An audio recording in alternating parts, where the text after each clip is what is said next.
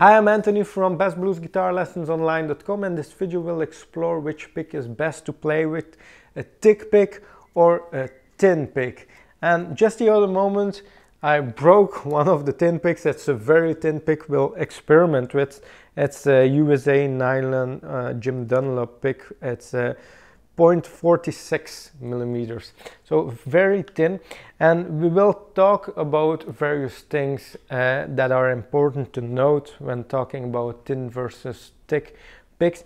And the very first thing is your guitar tone. So picks do affect your guitar sound how you sound on guitar. So we can compare this really to the bow of a violinist. If they care so much about uh, which bow they play with, we as guitarists should equally care about our picks because they do affect tone. And the best experiment you can do is to take the tin pick, play a few notes,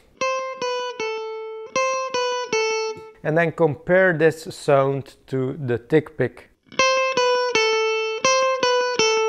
And of course we do it now in the video, but you can experiment with this for yourself with different picks.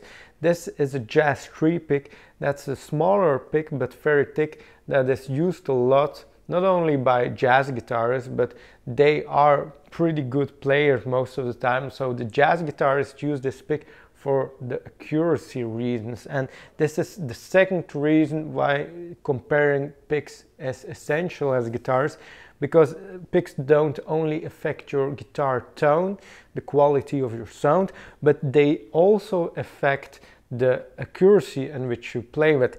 And of course, if you're just strumming songs and you're playing things like this, it's perfect to play with a thin pick because it might even give you a, a preferable tone in this regard. So a lot of uh, acoustic guitar players like the tone of the thin picks, the strumming across the strings.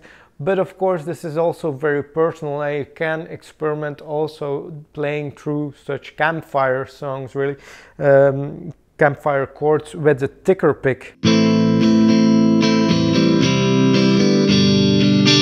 And if you do so, I would encourage you to also go with the flow here with the right hand and don't hold it really really tightly because otherwise you will get this.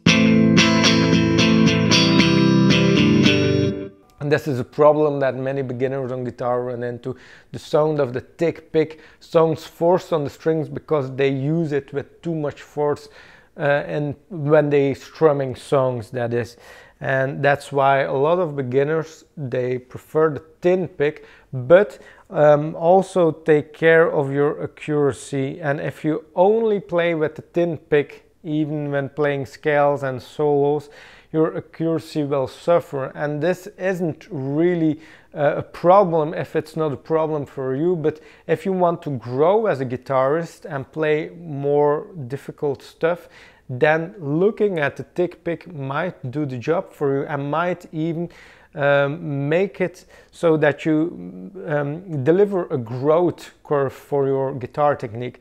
So if you're only playing with thinner picks, just forcing yourself to play with a tick pick, make sure that you get more accuracy in your playing because you're forced to do so to look at your technique because this um, thicker pick or picks like this, they, uh, they force you to play with much more accuracy because they're, uh, in this case, smaller.